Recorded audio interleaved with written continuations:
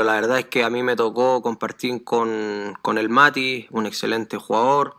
un jugador muy importante para, para la institución, una gran persona también, que, que ganó cosas importantes con, con, el club. Y bueno, tras la vuelta de Felipe también me tocó la posibilidad de compartir con él en, en Unión, jugador de, de, mucha importancia en todos los sentidos, jugadores con, con mucha experiencia, que, que son referentes para, para el club y si llegasen a estar acá, en el caso de, de Mati y de Pepe que, que tú lograste mencionar, eh, obviamente que sería muy positivo.